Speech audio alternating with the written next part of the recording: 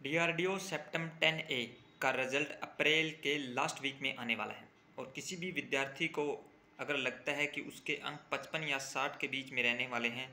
तो उसे अपने टाइपिंग प्रैक्टिस की ओर ध्यान देना चाहिए, क्योंकि रिज़ल्ट आने के एक महीने के बाद आपका टाइपिंग टेस्ट होगा और उसमें आपको कम से कम एक मिनट में पैंतीस वर्ड इंग्लिश में टाइप करने होंगे। और अगर आप पैंतीस वर्ड भी नहीं टाइप कर पाए तो आपको क्वालिफाई नहीं किया जाएगा।